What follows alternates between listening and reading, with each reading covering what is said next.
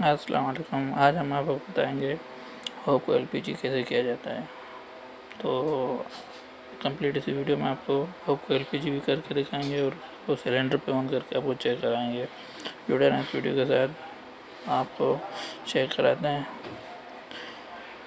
और तो सबसे पहले इसको शीट ओपन की जाती है। उसके बाद इसके नोज़ल चेंज होते हैं। एलपीजी के अलग नोज़ल होते हैं और अपना नेचुरल गैस के अलग नोज़ल होते हैं। ये आप चेक करें।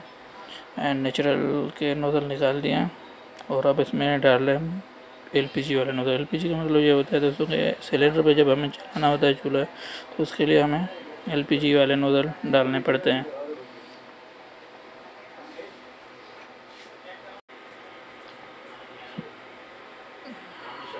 ये हम नोज़ल ओपन करके एल पी जी वाले नोज़ल इसमें फ़िट कर देंगे। और फिट करने के बाद आप चेक करें। ये दूसरे बर्नर के नोज़ल है, इसको खोलेंगे। और खोल के फिट करके आपको चेक कराएँगे। और उसके बाद आप जुड़े नहीं थे वीडियो में, सिलेंडर पे आपको चेक भी कराएँगे। और इसकी, दोस्तों जो नेचुरल नोज़ल होता है, सिलेंडर पे अगर आप चलाएँगे तो आपके जो बर्तन हैं, पतीले हैं, वो सब काले काले हो जाएँगे, कि इतने काले हो जाएँगे, आप उसको बोलेंगे कि हाथ भी ना लगाया जाए। तो इसलिए हमें नोज़ल एल पे चलाने के लिए, सिलेंडर पे चलाने के लिए हमें नोज़ल चेंज किए जाते हैं, ताकि ना पतीले काले हो। और हमारे पास सही से चल सके और जिस तरीके से हमें जितनी आँच चाहिए, उस तरीके से हमें आँच मिले और उतनी ही आँच मिले। तो उसके लिए हमें सिलेंडर के लिए एलपीजी नोज़ल चेंज कराए जाते हैं। जैसे कि ये हम अभी कर रहे हैं तो नेचुरल नोज़ल जो होते हैं वो अलग होते हैं और होते तो सेम ही है, लेकिन इसकी जो एडजस्टमेंट होती है अंदर से वो अलग अलग होती है। लेकिन नोज़ल तो सेम ही होते हैं, कोई फ़र्क नहीं होता, सिर्फ़ एडजस्टमेंट अलग अलग होती है। ये देखें, इसका जो बारीक होल है तो इसका मतलब ये एलपीजी है। तो ये लाइन है इसकी। ये बाहर की लाइन। तो जैसे बाहर की लाइन में हम फिट करेंगे एयर वाला नोज़ल जैसा कि एयर नोज़ल होता है, ये हमारा पास कोड है टेक्नीशियन वगैरह का तो हम उसे एयर नोज़ल बोलते हैं।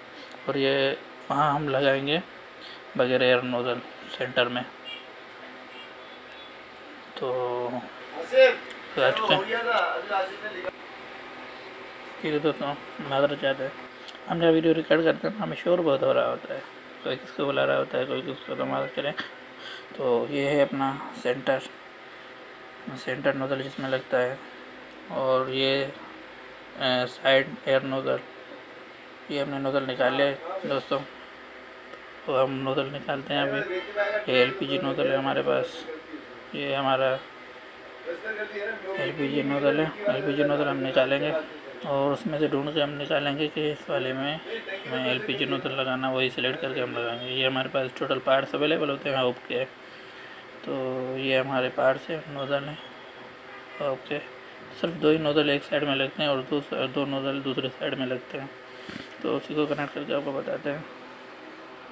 बाकी सब हमारे काम के नहीं है। फ़िलहाल हमें दो और दो, चार चाहिए, दो साइड दो साइड और सेंटर में दो अलग नोज़ल होता है, बारीक वाला नोज़ल तो सेंटर में दो अलग नोज़ल होता है, वो हम लगाएँगे। टोटल हम आपको चेक कराएँगे चेक करें। ये फिट हो चुके हैं हमारे नोज़ल ये दूसरी साइड से फिट हो चुके हैं नोज़ल और ये सेंटर नोज़ल है, इसको भी हम चेंज करेंगे। तो इसके लिए हमें दोबारा जाना पड़ेगा अपने केबिन में। सेंटर नोज़ल चेंज करने के लिए हमें केबिन में जाना पड़ेगा और चेक करेंगे। Centre nozzle. ये हम आ चुके हैं दोस्त केबिन में तो हम सेंटर नोज़ल वाली बटने निकाल के चेक करते हैं तो इसमें हमें सेंटर नोज़ल ही चाहिए ताकि इसमें कनेक्ट कर दें और सेंटर भी ताकि काला ना करे और सेंटर में बिल्कुल एकट आ जाए जो हमें चाहिए होती है। ये हमारे पास पार्ट्स हैं नोज़ल हैं ये सेंटर नोज़ल है तो इसमें हम सेंटर नोज़ल कनेक्ट करेंगे। दोस्तों एल चलने के लिए पार्ट्स जो है टोटल अवेलेबल होने चाहिए। उसके बाद ही एलपीजी होता है। एक भी पार्ट्स अगर मिस हो गया तो हमारा होप जो है एलपीजी नहीं होगा। तो सबसे पहले हमें किसी भी होप को एलपीजी करने के लिए हमें पार्ट्स की ज़रूरत पड़ती है। पार्ट्स होने चाहिए हमारे पास। जी तो हमें मिल गया है सेंटर नोज़ल तो यही हम नोज़ल चेंज करेंगे, ताकि हमारा पूरा होप एक्यूरेट काम करे। तो इसको निकालने के लिए हमें छः नंबर की सॉरी दोस्तों, नौ नंबर की हमें टी चाहिए होती है। और नौ नंबर की टी ही इसी में कनेक्ट होती है, ताकि नोज़ल निकल सके। तो नोज़ल हमने बाहर निकाल लिया है, और हम इसमें एल एलपीजी नोज़ल कनेक्ट करेंगे। तो दोस्तों, देखते ना ये वीडियो इसमें हम आपको सिलेंडर पे चला के भी दिखाएँगे। ये अपना सेंटर नोज़ल है। तो टोटल फिट होने के बाद हम आपको चेक कराएँगे कि सिलेंडर पे कैसे चलता है। तो उसका आँच भी चेक कराएँगे, किस तरीके की आँच है। बिल्कुल बिल्लू आँच होगी, हल्के, कहीं से भी कोई कच्ची आग नहीं होगी।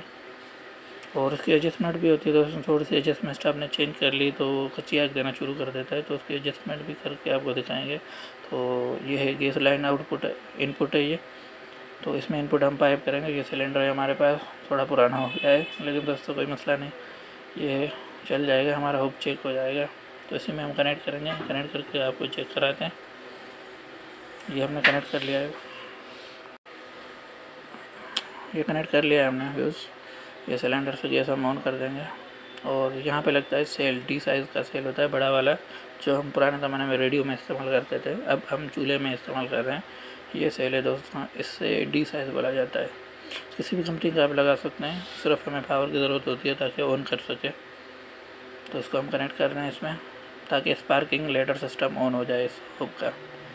सेल को हमने कनेक्ट कर लिया है। और दोस्तों, मैं एक हाथ से वीडियो बना रहा हूँ, एक हाथ से कनेक्ट कर रहा हूँ इस वजह से थोड़ा मसला आ रहा है।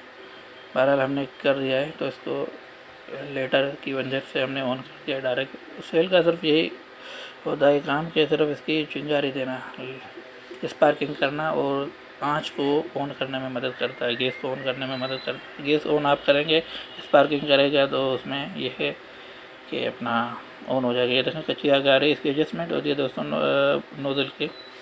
उसकी एडजस्टमेंट जैसे आप करेंगे तो देखें बिल्कुल बिल्लू आँच हो गई है। तो सेंटर वाला भी हमने आपको चेक कराया था सेंटर वाले में इतनी आँच होती है क्योंकि ये नॉर्मली होता है इसमें दूध वगैरह गर्म करने के लिए। तो इसमें हम इतनी रखेंगे, कहीं से कोई कच्ची आँच नहीं है, बिल्कुल ओके हो चुका है होगा हमारा। ये चेक करेंगे आप। कहीं से कच्ची आँच नहीं है जैसे वही है जो नेचुरल आँच हमारे पास आती है, लेकिन बिल्लू आँच में हीट भी तेज़ होती है और फ़ौरन फ़ौरन काम हो जाता है हमारा कोई भी चीज़ पकाने के लिए। तो व्यूज़ आप चेक करें और हम हम फिट करेंगे इसकी शीट शीट की बारी आ गई टोटल कंप्लीट इसको फिट करा के आपको चेक कराते हैं। ये शीट फिट करने हैं हम। शीट टोटल फिट ये स्क्रू है इसके। आठ स्क्रू लगाए जाते हैं इसमें। नंबर एक screw number two screw number three screw number four number five number six number seven, number eight. आठ स्क्रू टोटल हो गए दोस्तों। तो यही स्क्रू हमें इसमें कनेक्ट करके टोटल फिट कर देंगे। तो ये नोब है और नोब लगा के आपको दिखाते हैं। ये ऑन ऑफ़ करने के लिए नोब है। तीनों पे लगेगी। तीनों को कनेक्ट कर लिया हमने। ये जल्दी जल्दी वीडियो बना रहे दोस्तों, ताकि शॉर्ट बन जाए, आपको देखने में मसला ना हो। तो मिलते हैं नेक्स्ट वीडियो में। ओके हो चुका है हमारा। अल्लाह हाफिज़।